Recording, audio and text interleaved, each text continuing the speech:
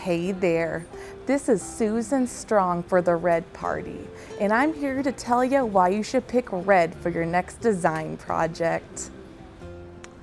Red is a fiery and passionate color. It's also a warm color, like giving your mama a hug. Warm colors like yellow and red have high values because of how much light are in them. And that's why, fellow Americans, you should pick red in your next design project.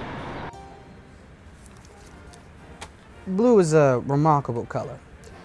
It is about American as a blueberry cobbler on a warm South Carolina day. Now it's calming, it revolves around nature in contrast to the powerful warm color.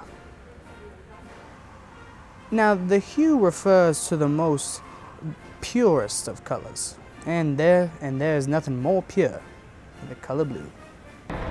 Now, given the facts provided, this is exactly why you should use blue in your next design projects.